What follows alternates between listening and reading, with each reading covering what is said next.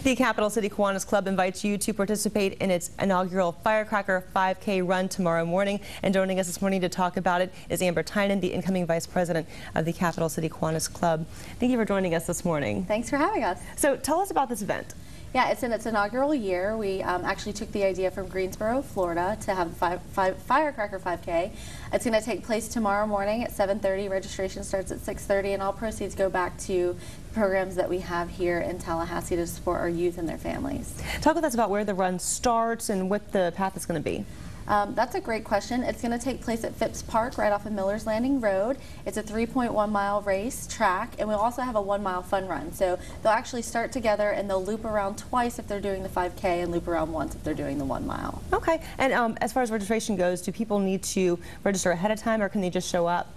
Um, we're asking that people do pre-register. It is $20, um, you, so you'll have a little bit of a price break. But you can register on site. That is $23 the day of, and we'll be doing that up until the race starts at 7:30. And T-shirts will be given out there as well. Correct. Are you guys in inviting people to? Because of course it's Fourth of July, mm -hmm. so are you guys inviting people to to dress up or in costumes or anything fun? We, we didn't send that out, but I'm sure we'll have a couple of people with some creative ideas. Absolutely. Yeah, of course in the red, white, and blue for sure. Yes. And talk with us about the, where the money will be going toward. Yeah, absolutely. Capital City Kiwanis Club is an international organization. We were actually chartered here in Tallahassee in 1959.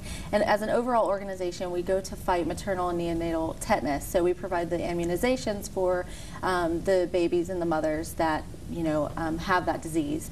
But locally, the money will go directly to um, programs like Elder Care Services, Meals on Wheels. We work with ECHO, Ability First, to build ramps for disabled uh, folks in their homes, and it also helps with our sponsored youth programs in the school system like K Kids, Kiwanis. Uh, Key Club and uh, Circle K in colleges. Okay, and if people want to register, um, they just go on online or do they give you guys a call? Um, they can go to active.com and they'll see us listed directly on the on the left hand side. Is there a registration deadline for this? Nope, they can register okay. up until 7:30 tomorrow morning. Okay, and then of course the run taking place early in the morning so you have plenty of time to go home mm -hmm. and get ready for any kind of afternoon barbecues or festivities happening out at Tom Brown Park. You guys will also be out at Tom Brown Park tomorrow night as well? We will. We'll actually be pouring all the beer tomorrow night and the proceeds will help with our initiatives as well. Okay, so get the run out early that way you can head on down to Tom Brown Park. Again, uh, the run is going on tomorrow morning. Uh, on-site registration starts at 6.30 a.m., is it that does. correct? Race starts at 7.30 a.m. at the Elinor Klapp Phipps Park on Miller Landing Road. 20 bucks with a t-shirt, $15 without a t-shirt. That's pre-registration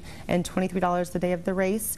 Um, and you can go to capitalcitykiwanisclub.com or also, you said active? Active.com directly to register for the race. To register, or you can call 850-322-1805. We'll also be putting all of this information up on our website, WTXL.tv. Amber, thank you for joining us morning. Thank you, Abby.